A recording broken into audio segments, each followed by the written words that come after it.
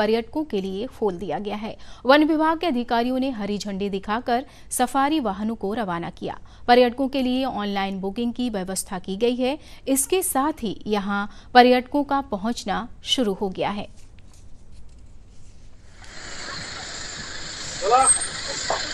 दीजिएगा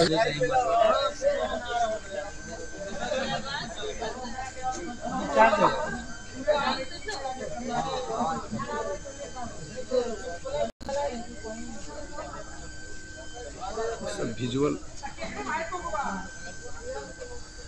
और हम लोग पहली बार आए हैं वाल्मीकि नगर। अभी जंगल सफारी करके आए हैं। बहुत ही मनोरम दृश्य है और बड़ा ही खूबसूरत जगह है ये। और हम लोग ने काफ़ी इंजॉय किया है और हम आप सब दर्शकों से भी कहते हैं कि आप भी एक बार ज़रूर आइए और बिहार में इस पर्यटन क्षेत्र को बढ़ावा दीजिए। काफ़ी बेहतर जगह है ये वाल्मीकि नगर। और हम तो कहते हैं कि हमेशा आइए, यहाँ पे कभी एक बार घूमिए, बहुत बेहतर जगह है। और हरियाली वगैरह है, मौसम भी बहुत प्यारा है यहाँ। का अच्छा।